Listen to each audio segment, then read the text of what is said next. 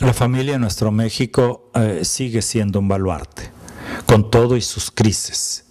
Tenemos muchos valores, tenemos muchos valores que nos identifican, que nos sostienen, que nos ayudan a superar muchas dificultades.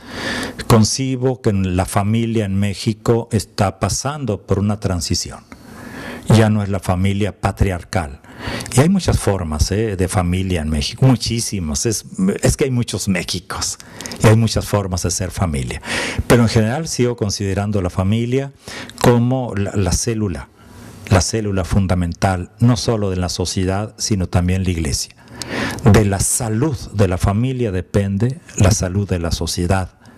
De la, del dinamismo de la familia va a depender el dinamismo en la iglesia. Para mí la familia es un regalo, es una bendición, pero al mismo tiempo eh, es un reto. Es un reto, creo yo, que es una de las prioridades para la iglesia.